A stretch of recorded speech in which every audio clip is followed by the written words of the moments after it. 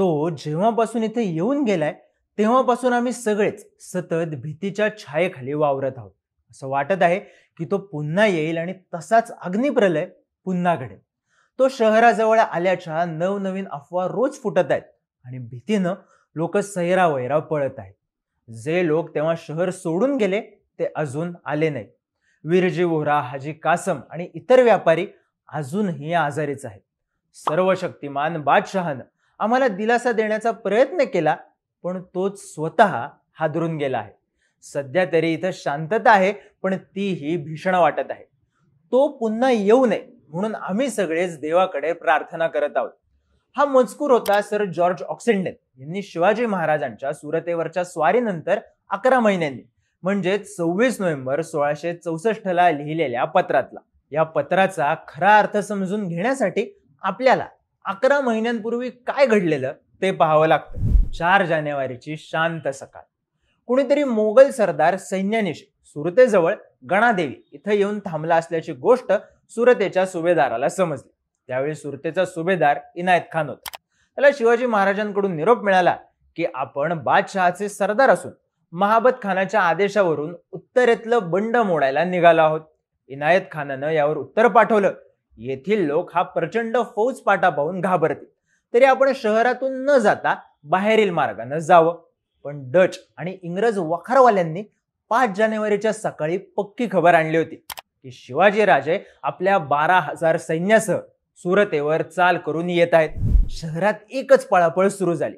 व्यापाऱ्यांनी दुकानं बंद करून घरं गाठली. शहराच्या सीमेवर राहणाऱ्यांनी तर शहर सोडून भीतीनं पोबारा केला. परदेशी व्यापारी वखारवाले इंग्रज पोर्तुगीज डच यांनी बाहेर विकायला ठेवलेला माल पुन्हा गोदामात आणून गोदामांना टाळी ठोकली. इंग्रजांनी तर संध्याकाळी सोडायची जहाज सकाळीच माल भरून इंग्लंडला पाठवून दिली. एव्हाना शिवाजी महाराज उधनाजवळ पोचले होते. म्हणजे सुरत पासून फक्त एक मैलावर. इकडं शहरात इनायत खानानं लोकांना धीर द्यायचा संरक्षण द्यायचं हे सगळं सोडलं आणि स्वतःच किल्ल्यात जाऊन लपला. त्याच्या पाठोपाठ इतर अधिकारी व्यापारी शहरातल्या बड्या हस्तीही आश्रयासाठी किल्ल्यात जाऊन बसल्या. इनायत खानाच्या या भित्र्या धोरणानं मराठ्यांना जणू मोकळं रानच मिळालं. सहा जानेवारीला मराठा सैन्य सुरत शहरात दाखल झालं. शहराच्या बाजूला एक मंडप उभा केला गेला. महाराजांनी इनायत खानाला निरोप धाडला. वीरजी वोरा मोहनदास झवेरी शांतीदास झवेरी हरिवैश्य सईद बेग हाजी कासम या व्यापाऱ्यांनी ताबडतोब येऊन खंडणीची बोलणी करावीत. आणि ठरलेली खंडणी द्यावी. खंडणी मिळताच आम्ही निघून जाऊ. अन्यथा आमचं सैन्य शहराला आग लावे तुमच्यावर तलवार चालवेल. परंतु या निरोपाला मुघल अधिकाऱ्यांकडून कोणतंही उत्तर आलं नाही. त्यामुळे चिडलेल्या शिवरायांनी बहिर्जी नायकांच्या नकाशाप्रमाणे ठरलेल्या ठिकाणांवर हल्ले करून लूट मिळवायची ठरवली. या निरोपांमध्ये एक उल्लेख आलेला वीरजी व्होराचा. फॅक्टरी रेकॉर्ड्स प्रमाणे त्या काळातला जगातला सर्वात श्रीमंत असावी तेव्हाचं इलॉन मस्क किंवा बिल गेट्स किंवा अंबानी अदानी असं म्हणा हवं त्याची वैयक्तिक संपत्ती त्या काळात ऐंशी लाख एवढी होती. तर व्यापारी उलाढाल काही कोटींमध्ये होती. मराठा साम्राज्याची तत्कालीन उलाढाल पंधरा वीस लाखांच्या आसपास होती. यावरून विरजी वोहराच्या प्रचंड संपत्तीचा अंदाज लावता येतो.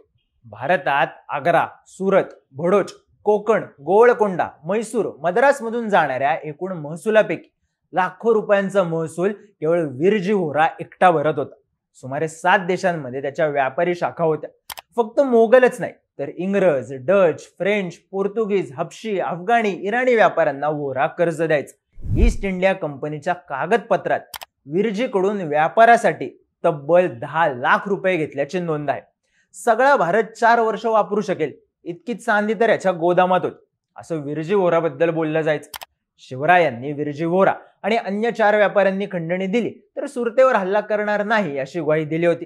परंतु विरजीनं ही मागणी मगरुरीनं धुडकावली आणि याचे परिणाम त्याच्यासोबत सगळ्याच व्यापाऱ्यांना भोगावे लागले. सात जानेवारीला हाजी कासमचं घर लोटण्यात आलं.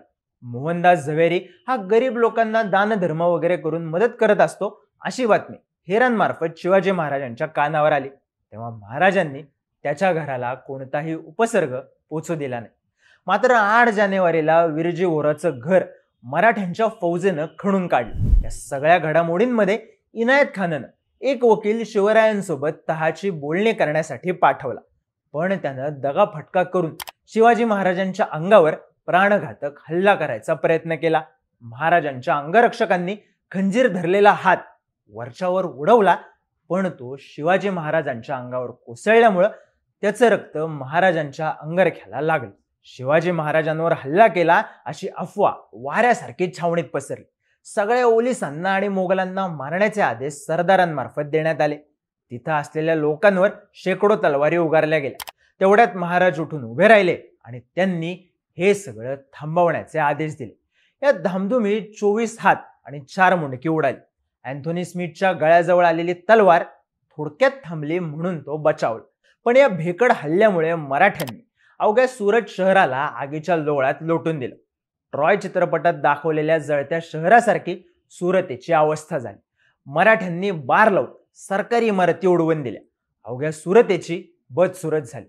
त्या दिवशी सोनं चांदी मोती रत्न हे वगळून सुमारे तीनशे ते पाचशे हशम हातात प्रत्येकी दोन पोती घेऊन शामियान्यात दाखल झाले होते. वीरजी भोराच्या घरातून सुमारे सहा हजार किलो सोनं. अठ्ठावीस पोती भरून मोती हिरे माणके सुमारे पन्नास लाख रुपये रोख असा भरमसाठ ऐवज प्राप्त झाला होता. सुरतेच्या लुटीमध्ये सर्वात मोठं नुकसान वीरजी झालं. यातून सावरायला काही वर्ष गेलीच तो शिवरायांनी सुरतेवर दुसऱ्यांदा हल्ला केला. यातून मग विरजी सावरला नाही आणि अंथरुणाला खेळला. जगातल्या सर्वात शक्तिशाली मुघल साम्राज्याला कर्ज देणारा हा व्यापारी शिवाजी महाराजांनी दिलेल्या तडाख्यामुळे धुळीस मिळाला. आणि याच धक्क्यात सोळाशे सत्तर साली मृत्यू पावला. या पैशातून शिवरायांना वर्षभर पगारी सैन्य ठेवणं ते दुपटीनं वाढवणं शक्य होणार होतं. गडकोट दुरुस्ती नवीन कोट उभारणी आरमाराची बांधणी दारू गोळा हत्यार यासाठी लागणारा पैसा उपलब्ध होणार होता. स्वराज्यासाठी सुमारे अडीच कोट रोख रक्कम सोने चांदी इतर वस्तू असा मौल्यवान ऐवज मिळाला होता. छत्रपती शिवरायांनी सुरतेला दिलेला तडाखा न मुघल विसरू शकले. आणि ना जगातला सगळ्यात श्रीमंत माणूस. ही स्टोरी बोलबिडूसाठी लिहिली होती. इतिहास अभ्यासक केतन पुरी यांनी. रयतेचे राजे छत्रपती शिवाजी महाराजांना जयंतीनिमित्त विनम्र अभिवादन.